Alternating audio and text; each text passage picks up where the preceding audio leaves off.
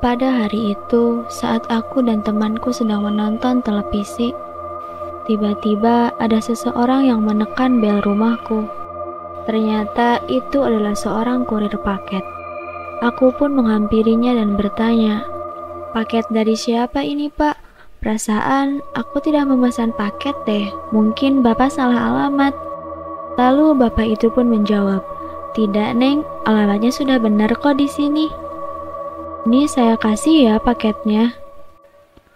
Aku pun menerima paket tersebut, meski sebenarnya aku sangat bingung. Lalu pengirim paket itu pun pergi, dan aku pun membawa paket tersebut ke dalam rumah. Sesampainya di rumah, temanku pun bertanya, "Paket apa itu? Besar sekali." Aku pun menjawab, "Tidak tahu. Tidak ada nama pengirimnya di sini." Karena penasaran, kami berdua pun membukanya. Saat kami membukanya, terlihat ada sebuah surat di dalamnya.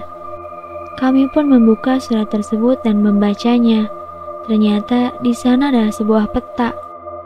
Kami mengikuti arah peta tersebut yang ternyata membawa kita ke kuburan teman kita sendiri, yaitu Kiara. Dia tewas karena ditikam oleh seorang pengirim paket.